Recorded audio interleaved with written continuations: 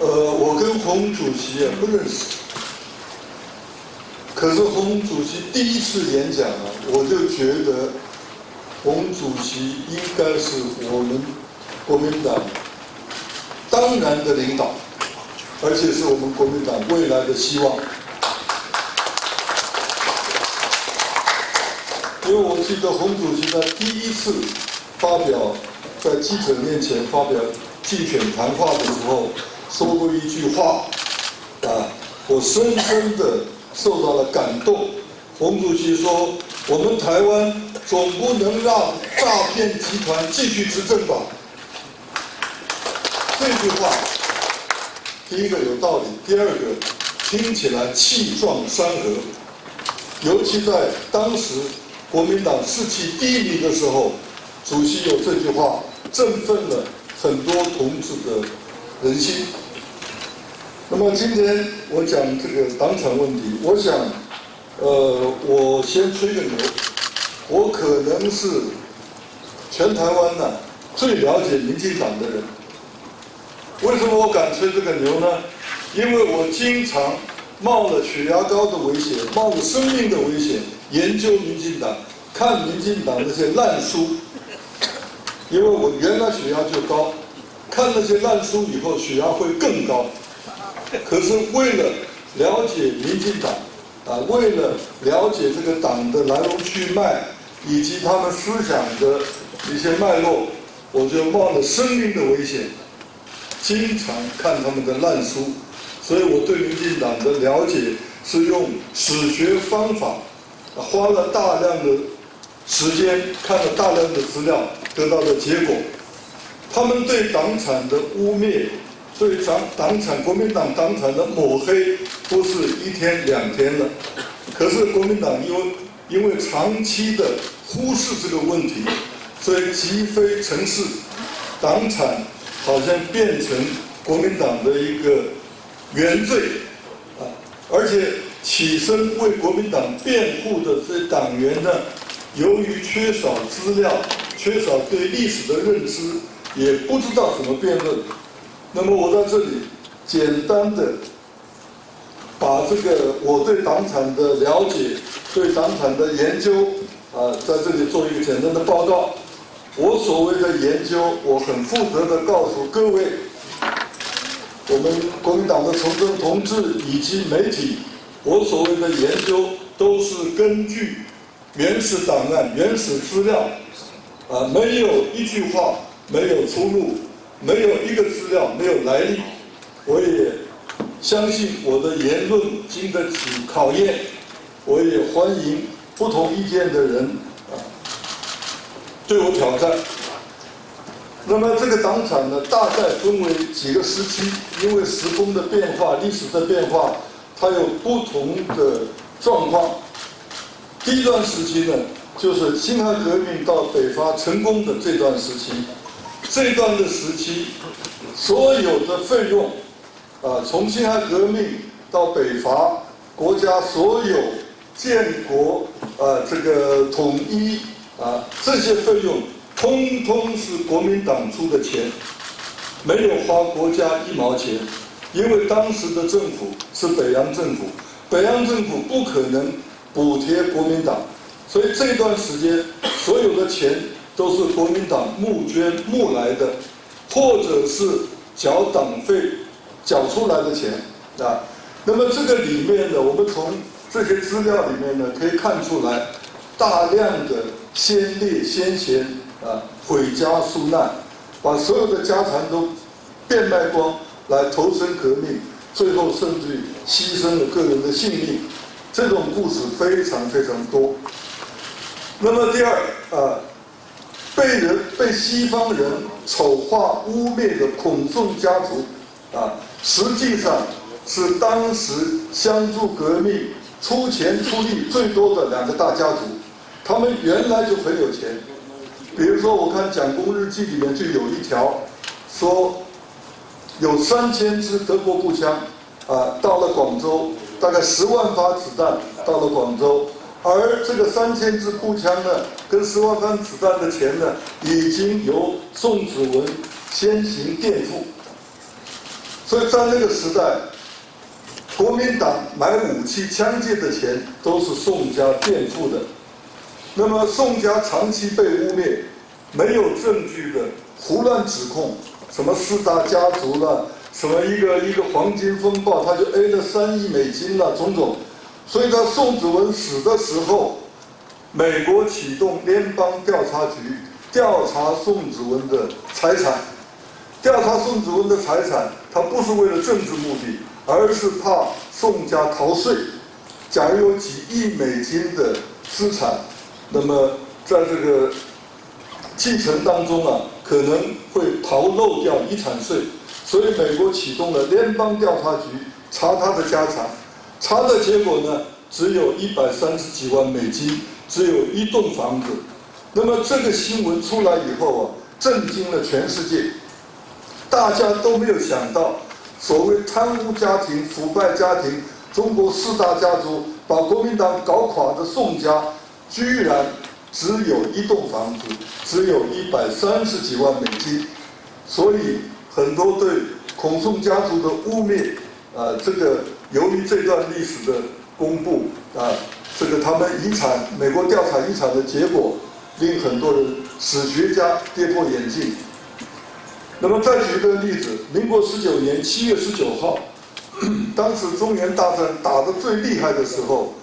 由于孙殿一坚守涿州，战况不利，战况不利的时候，那个时候没有钱，啊，宋子文勉为其难的担任了财政部部长，四处张罗，张罗到最后呢，山穷水尽，宋子文也很泄气，他就不想干了，他就辞掉了，他同时用失踪来显示他辞职的决心。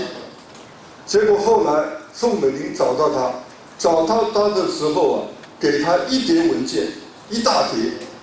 他说这什么东西？他说这是我个人拥有跟我家拥有的房地产、股票、有价证券。他说你把它通通拿去卖掉。宋子文说干什么呢？他说卖掉充作军饷，因为当时国民革命军军饷发不出来。他说你拿去。充当军饷，宋子文说：“那何必这样子呢？”他说：“因为这个战争，假如发不出饷来，必定打败。假如打败的话，啊，他说，蒋先生一定会自杀。他说他要死的话，我也会跟着殉国。他这样一个局面，我要钱有什么用呢？”后来宋子文听了，非常非常的感动。感动之余呢，他就打消了辞辞职的念头，然后四处张罗军饷，到最后，啊，中原大战打赢了，那么国家奠定了一个统一的基础啊。另外一个小故事就是我们从蒋的一个好友张晋江先生啊，那么很多人都知道他，他是一个党国元老，可是他是残废。啊，他一生不求名不求利，在他一生当中无数次的捐款，在政府为难的时候啊，在国民党需要的时候，他经常做大笔的捐款，一捐就是五万大洋、十万大洋，不知道捐了多少次。啊，张晋江江先生，他是一个忠实的党员，一生不求名不求利。那么，另外再举个小例子。何成俊先生，他是不折不扣的党国元老，在辛亥革命的时候，他就是黄兴的部下。辛亥革命成功以后，黄兴做军令部部长，他就承认曾经任黄兴手下的一个师长。后来他做了国民革命军的总参议，后来又做了湖北省主席。在抗战期间呢，他做了。这个法军法处的这个总监，啊，上将总监。那么他曾经啊，把他所有的家产交付国民党信托，他的家产包括房子、包括土地、包括很多很多的资产，交给国民党信托干什么呢？他说，所有的收入，啊，抗战期间所有的收入都捐给国民党使用。他自己一毛不不取啊，那么一个了不起的一个国民党党员，也就是说啊，在抗战建国时期，所有的国民党的钱不是靠捐来的，就是靠党费啊募集来的、凑来的。那么，所以在这个当中呢，国民党一直是闹穷，一直缺钱。我们看档案，不管是党史馆也好，国史馆也好，啊，有大量的这种资料证明国民党是一个非常贫穷的党，而为了凑钱，呃，为了缴党费，啊，那么我们的当时的总裁啊，蒋介石先生也曾经多次为这个事情出面讲话。劝党员多捐款，所以在抗战前啊，无所谓的党产，因为所有国民党的活动都是为了国家，而当时没有办法从政府拿到一分钱一毛钱，所有的费用都是党员的党费跟热心党员的捐款。另外，在抗战建国时期啊，当时的情况，一直到台湾很长一段时间，我们国家的处境是党政不分，党政不分是一个历史的产物，是一个当时历史的必然啊。那么现在很多人把党政不分拿来看成国民党的罪状，这个也是昧于当时。历史的一种说法，一种污蔑。实际上，当时国民党最大，国民党的人最多，国民党的人才也最多，在政府担任重要职务的人也最多。而当时的国民党筹措党费的一个筹措经费的唯一的目的，就是党务经费。党务当时做哪些事情呢？比如说做情报。啊，做文化宣传，啊，做一些教育活动，啊，种种种种，实际上严格的，我们从现在的档案看起来，当时的所谓党务就等同于国事，党务跟国事是不分的，而长很长的时间，国民党花的这些钱是为国家、为整个民族花的钱，国民党从来没有。跟政府算过账，也从来没有用这个理由来表功过，所以这个状况呢，我希望各位从政党员要非常了解。就面对党产问题的时候，除了党的来源之外，啊，我们要认识、认清楚我们的钱怎么花的，党费花到哪里去了，啊，这是一个很很重要的一个一个一个。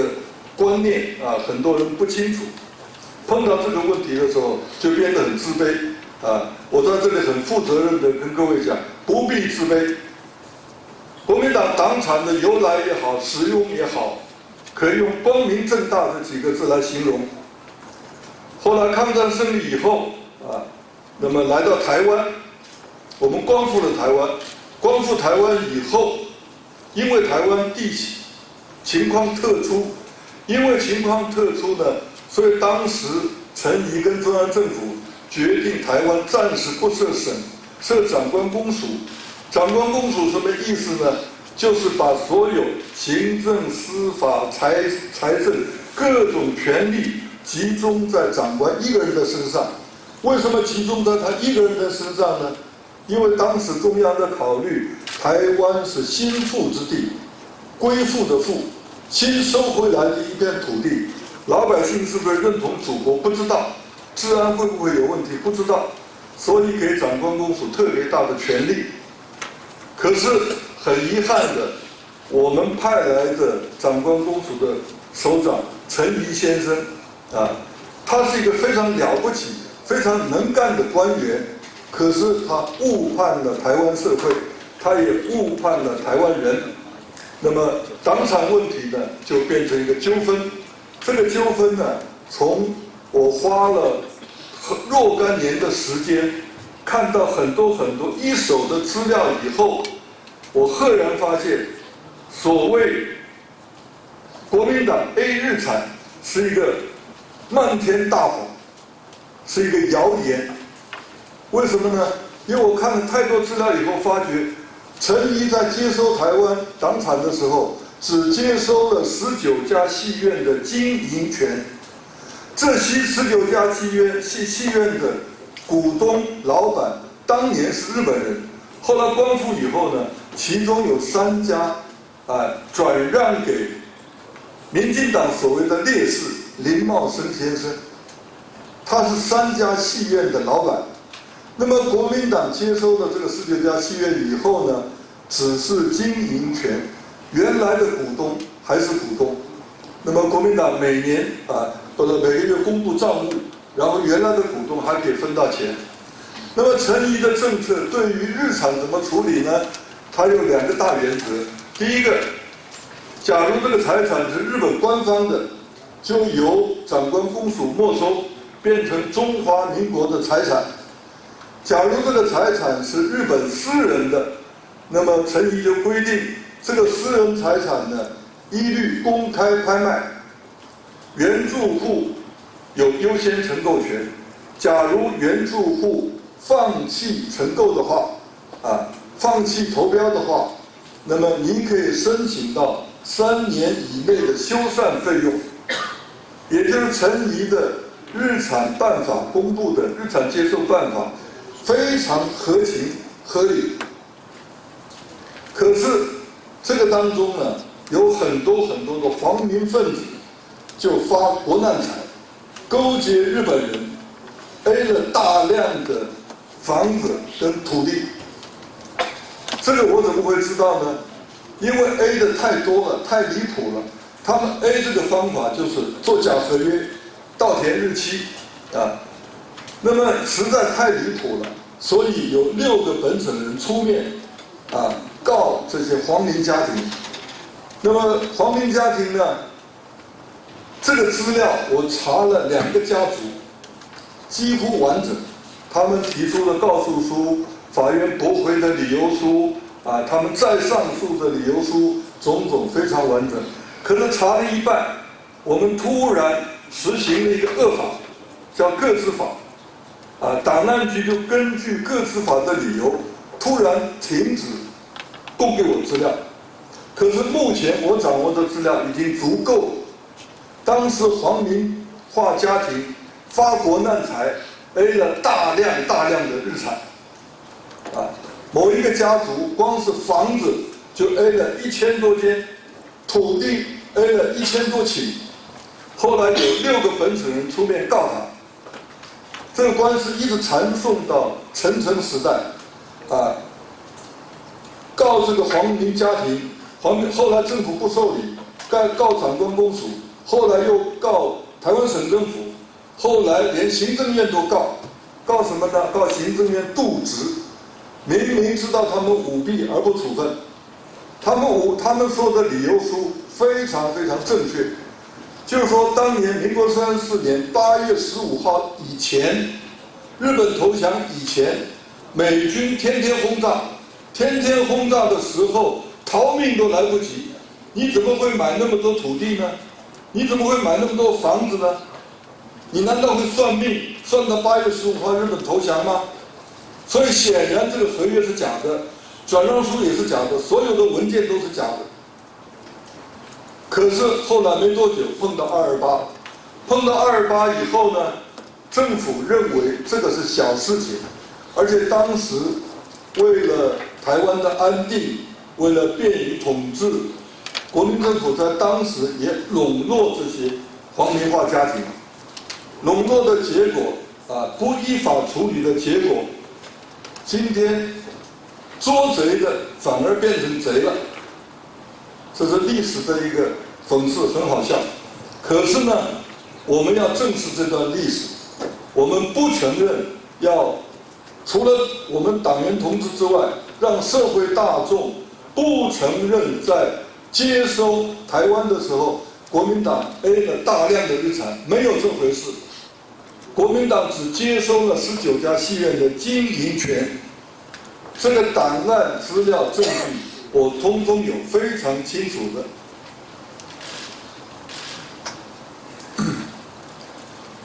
接受日产结束以后没多久，啊，国民政府败退到台湾，败退到台湾以后呢，这个因为整个情势的关系，因为反共的需要，确实有一段时间，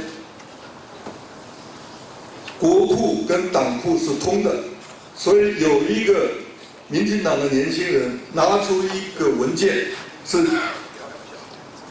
先总统蒋公亲自批的文件，批了一千多万交给省党部作为党费使用，他们就拿这个文件来做文章，说这个就是证据，如何如何，国民党当时如何如何如何腐败，如何 A 党产种种。后来我就回那个学生一个数字，我说国民党政府拨给国民党一千万没有错，你的资料是对的，我也查过。可是你知道那年国民党花了多少钱吗？他说不知道。我说花了四千多万，花了四千多万不够。结果国民党，呃，政府拨了一千万帮助国民党推动党务，推动党务也等于是替国家做事，替国家服务。好，最后这个党产问题发展到李登辉时代，啊，起了一个大的变化。在李登辉之前。所有的党党费，不管是党员缴的或者是募来的，只有一个目的，就叫党务经费，做党务用。可是李登辉时代以后啊，就把这个党的财产来作为一个资本来经营事业，所谓党营事业，党营事业有一度非常非常的蓬勃。党营的事业本身当然是不对的啊，可是。我认为李登辉的行为也好，刘太英的行为也好，这个不代表国民党的传统，啊，他们的行为是个人行为，所以我也建议，我也多次的主张，啊，对于国民党的党产问题，国民党应该把它所有的资料都开放，开放以后供国人、全国的人，包括民进党的学者来研究，来研究。党产，我相信它的来源也好，它的使用也好，啊，在正当性方面，在对国家的贡献方面是经得起考验的，是可以问心无愧的。何况在马英九时代有这份东西，我们对党产的处理啊，非常严谨的自我检讨、自我约束，然后已经。归还了很多当时马主席认为不当的财产，而这个党产呢，由监察委员黄宏雄先生呢，他做了详细的分析，他仔细的阅读过，最后的结论是这个报告非常公正，啊，所以面对这个党产问题，现在已经变成国民党的原罪，对这个问题呢，我希望啊由。国民党或者有一个学术团体出面召开一个学术研讨会，国民党党产的学术研讨会，依次解决。尤其是党产的使用，国人大多数都不知道。啊，我在多次跟年轻人的演讲的时候，我提到当初投资台积电，啊，当初呃中山奖学金，甚至于后来的民族服务社，啊，这个都是花国民党的钱。很多小朋友听了很感动，啊，那么尤其是党产使用方面这些资料呢，希望公布。那么尤其是基层党员啊，我想从基层出身的，包括我们今天在座的，呃，过去的大安区党部的周主委，现在中央评议委员，他做过民族服务社的理事长，啊，当年国民党在。最基层急难救助方面也做了很多很多的事情，啊，这个是我今天的报告，希望大家指教，谢谢。